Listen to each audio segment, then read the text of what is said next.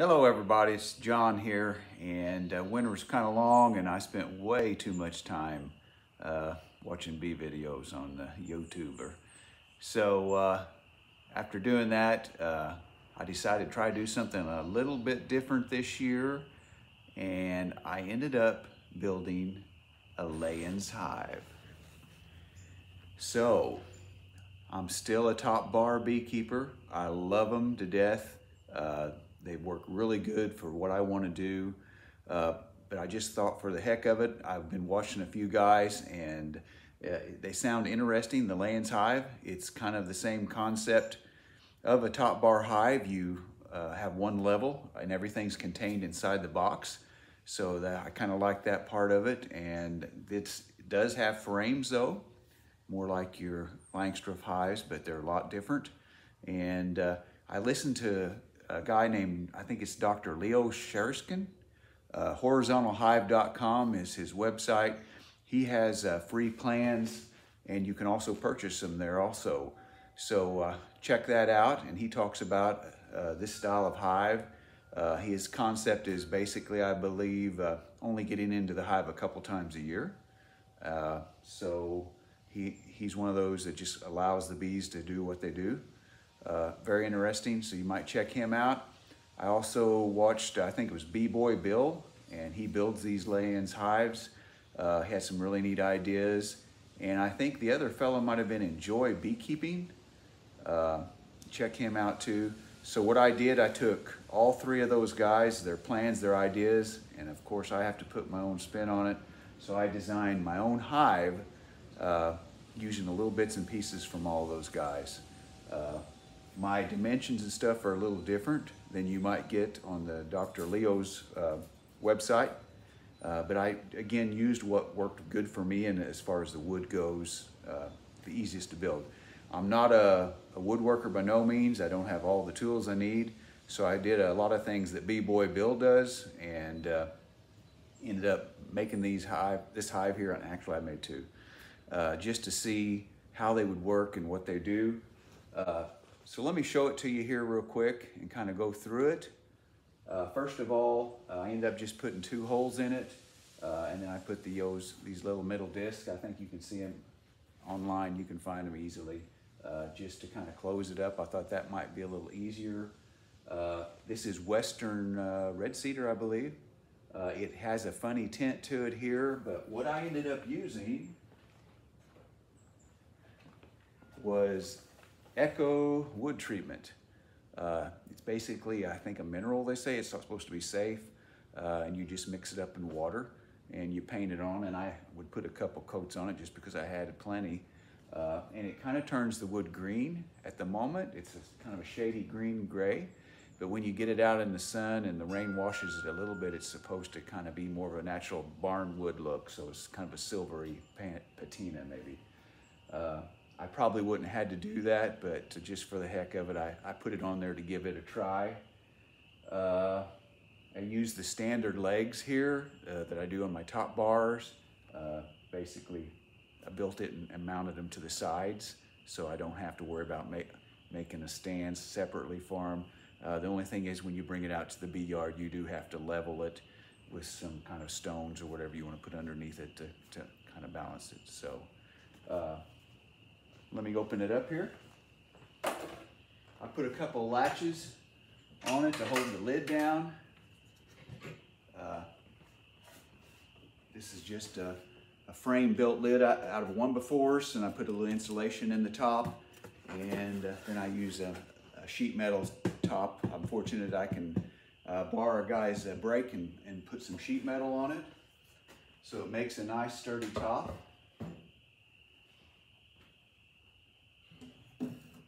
This is what you end up with as far as the frames go. And uh, the volume inside this hive, inside the frames here, is a, figures up to be about 20 gallons. Uh, and there's 17 bars. And uh, the 18th bar is, is, a, is a divider board. So with with oh, that amount of room, 20 gallons, that's a usually that's a little bit bigger than my top bar hives I've built. Uh, so it'll be interesting to see what they do. Uh, also, I uh, took one of the guys' ideas and uh, I cut some uh, starter strips here out of some uh, the foundation, plastic foundation.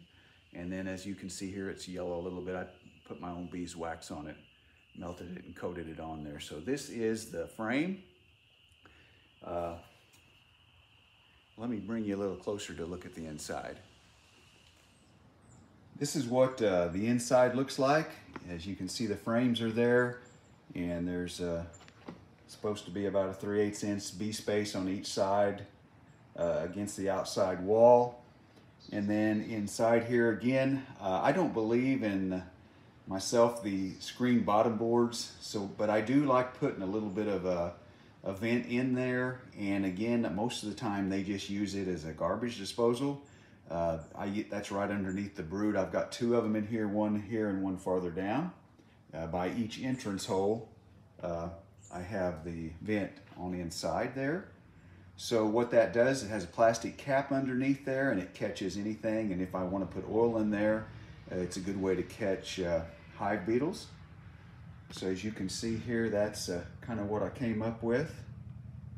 One other thing that I did do here uh, a lot of the plans show that the hive, uh, the bars here are recessed. And uh, to me, I like the top bar concept where the bars just set on top. To me, it's a lot easier to uh, maybe take the bars here and put a pry bar underneath it, a hive tool, and then pop them up and lift them out. And the only thing is I do have to then, whenever I put them back in there, make sure that they are flush with the outside of the hive. Uh, but I do like that, that uh, way that works a lot easier. It seems like when I watch the videos, a lot of people struggle trying to get down and getting their hive tools in here to, to pop out the frame. So that's what I did there. Also, I tried something a little different this time uh, on my top bars. Occasionally, as the wood swells and shrinks in the during the year, the bars can get tight, and I sometimes have to put a little spacer in here to fill in the gap on my top bar hives. So here, what I did this time is uh, I made an adjustable ends on each side, and all you gotta do is undo the wing nuts, and this board will float in and out about a half an inch and it'll also do that on this other end too in case I was wanting to use that as my entrance. Uh, either way, it allows uh, to float a little bit because I like to always make sure it's tight. Whenever my frames are all in here, uh, I want it to all be nice and snug and tight. Back to the outside here again. Uh, underneath, uh, I built this little bitty bracket uh, and it has wing nuts it raises and lowers. And it's I can easily underneath slide in this little cap. And that's where, again, I put the oil uh, for the hive beetles. And just to check and see if there's any varroa mites and stuff, it's a good spot. They'll, if they fall off, they clean them and throw them in here for some reason. It's easier for them. Uh, so that's kind of neat. And I'll have this on uh, mostly in August is when I put my oil traps in and when I seem to have a few more hive beetles. So otherwise, uh, I'll just lower this a little bit and give them ventilation if they need it or keep the cap in there. And then in the wintertime, I take the caps out because I can. sometimes they can get water in them from condensation inside the hive. So I don't want that to build up in there. And I usually end up using like an SOS pad here and I cut it to fit my hole and uh, I'll have this cut out, a couple of those in there.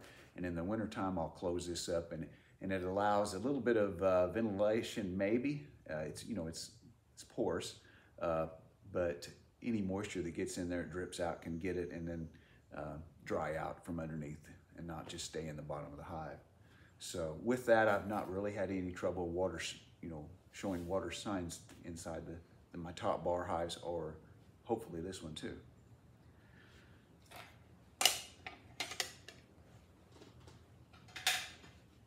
One last thing I, I like to try to do in the wintertime, I put a, a foil quarter inch bubble wrap, double bubble wrap on here on top. Uh, since I have a one before top on this, I didn't see a need to build it any bigger, but there is enough room in there that I can put some of the inch, uh, I know, styrofoam board or the insulation board I can cut it and just set it on top here too underneath the underneath the lid. And once I close it up then, there should be three quarters of an inch, quarter double bubble, and then an inch of the insulation board. And then there's still a little bit of a gap around the outside here that there's ventilation hose on each end, of course, of my lid so that air can get in and out. Uh, like I say, uh, this is something new I wanted to try just for the heck of it. And of course, you when you build a beehive, you need two at least of the same style in case I need to borrow uh, some brood frames from another hive. I can easily put it in here then. There we are then. Uh, put it all back together. It's ready to set outside. Uh, I'm building a new bee yard this year to keep the bees a little farther away from the house and the grandkids. So it's going to be a little farther out and I'm going to put these two uh, hives in there and, and, then maybe one of my top bar hives also. Uh, I think I've told you about everything I did on it.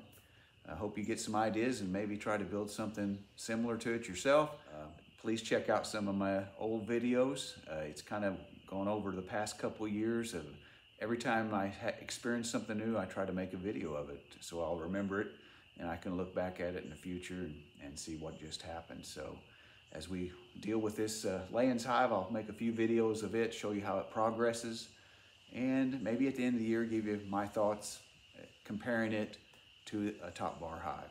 And as always, take care, get ready for the beekeeping season coming here in a few weeks, and God bless.